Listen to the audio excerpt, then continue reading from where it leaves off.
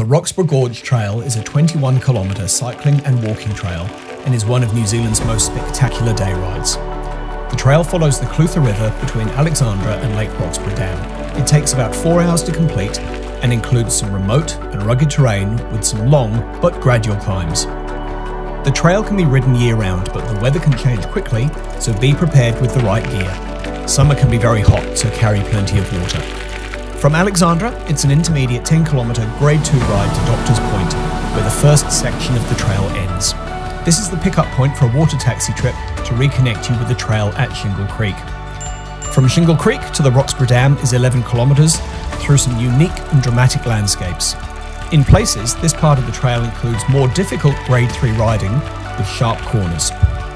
From Roxburgh Dam, you can connect to the Clutha Gold Trail, and then it's an easy ride of 9 kilometres to Roxburgh, where there are a variety of great places to eat, drink, or stay.